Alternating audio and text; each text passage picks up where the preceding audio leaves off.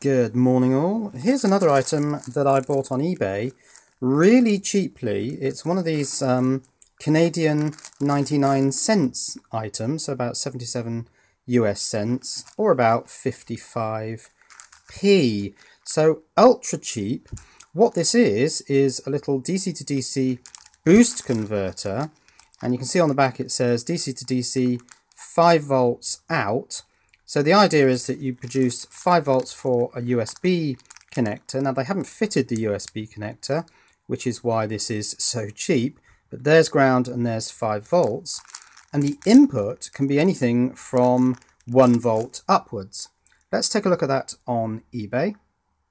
So here it is, DC to DC boost converter step-up module, 1 to 5 volts in to 5 volts out, up to 500 milliamps, although there are conditions associated with that.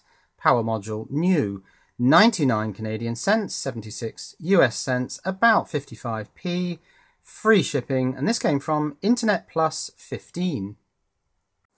So it's based around this little controller chip. It's a SOT89 uh, style package. It's got the number E50D, so we'll look that up in a moment.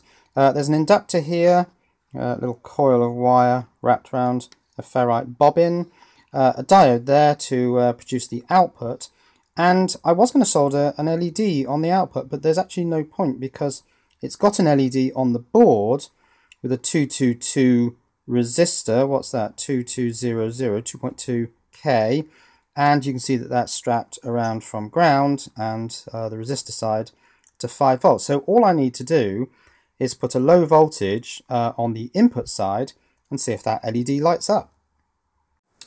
So I'm going to use a, a 1.2 volt nickel metal hydride. This is actually an Eneloop Lite. I'm just going to put the uh, ground and 5 volts. Getting the polarity correct, of course. So ground on there, 5 volts on there, and we have a little red LED. Now that doesn't really prove that we've got 5 volts on the output. Would a red LED light up on 1.2 volts? Without the boost converter? Hmm, well I suppose we could try it. Let's try it, shouldn't need a resistor for this. I don't think it's going to light up. No, a red LED won't light up on 1.2 volts. So we do need the boost converter to provide the higher voltage. Let's check the output voltage of this converter. So let's measure the output voltage with a little digital voltmeter here. Now the reason I'm using this rather than a DVM is so that it draws uh, some current, puts a little bit of load on the device. It's not going to be much, about 50 milliamps probably. And what we've got is 5.025 volts. So really quite an accurate 5 volt output. So what's this little chip, this E50D? Let's look it up. So here on All About Circuits, we've got help identifying SMD parts can anyone ID these? And it looks like the same two devices on my board. In fact, it looks like it's the same board. The SS14 is a 1 amp 40 volt barrier diode. And then further down, any idea on the E50D?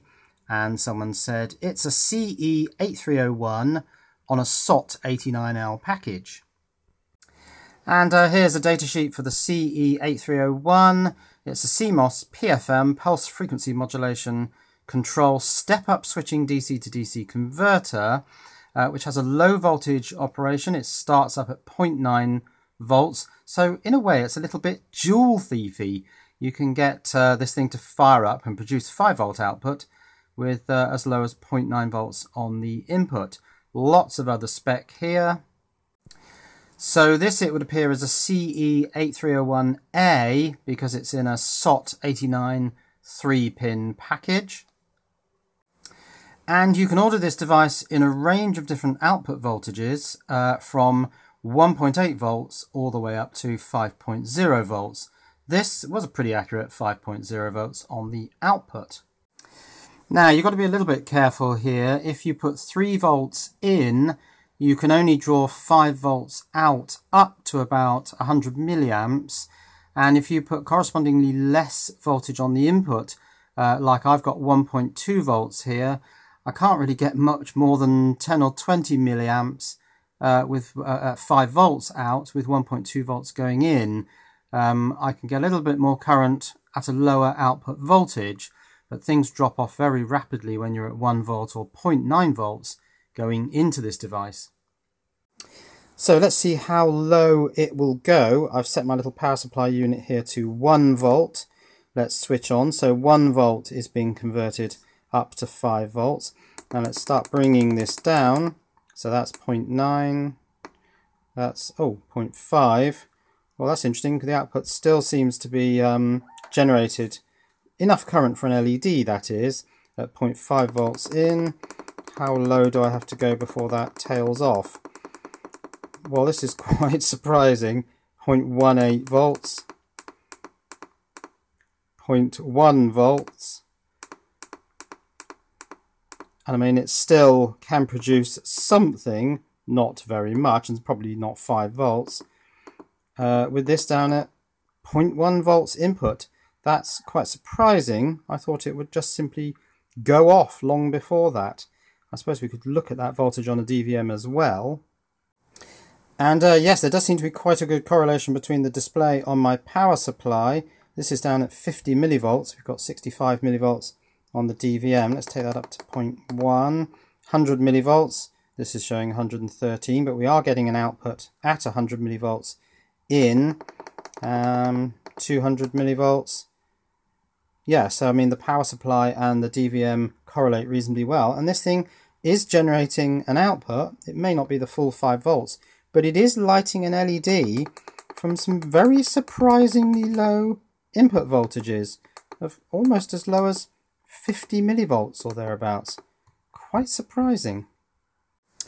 So I think for uh, 55p this is pretty neat. Here it is running off a tiny little AG4 uh, watch battery, 1.5 volts, and driving the LED. And this battery could go down to, well, we've seen it go down to, I don't know, 100 millivolts, and still the LED remains alight. So yes, it makes a very good replacement for a joule Thief. So I'm going to call this an eBay cheap and cheerful because it works. It turns anything from uh, 0.9 volts on the input, actually a lot less if you're willing to uh, sacrifice a bit of brightness on the LED on the output, uh, turns it into 5 volts. For 50p, I think that's pretty good. Cheerio.